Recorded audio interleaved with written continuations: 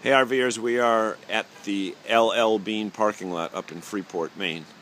The largest tourist attraction in the state of Maine. There's uh, several RVers here, but there's one that's really interesting.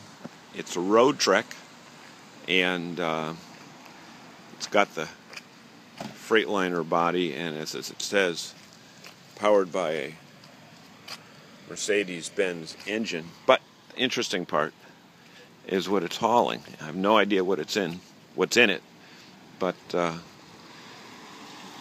that's, that's what it looks like from a distance. My guess is it's probably um, a motorcycle, but it says Excalibur home crafted sport carrier.